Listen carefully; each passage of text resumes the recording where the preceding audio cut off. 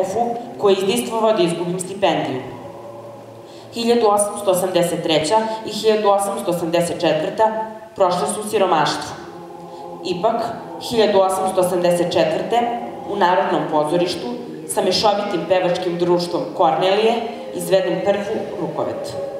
Tako dobijem naklonost novog ministra prosvete i ponovo dobijem stipendiju.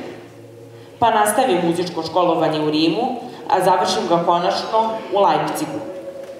1887. postanem horovođa Beogradskog pevačkog društva, oženim se horiskinjom Milicom Icom Predić, a 1889. dobijem sina, momči Lagu Stojanovića. A ja, tužan septembar 1914. godine za svet i za Srbiju. Rat, kolone izbeglica, patnje, strah, bolest i smrt. A mi još sahrani smo ovde u Skoplju u izbeglištvu Stevu Stojanovića Mokranjica.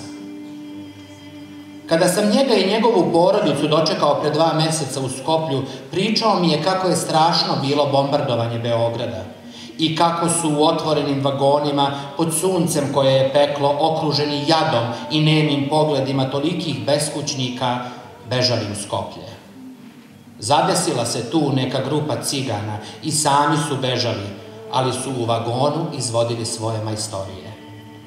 To ga je nateralo da uzme u ruke svoju violinu i diriguje tim neželjenim orkestrom. Kao da je hteo da se vrati u mladost, kada je i sam pevao sa sevdahom i zanosom. Katarinke pod drum odim, za drum pitam.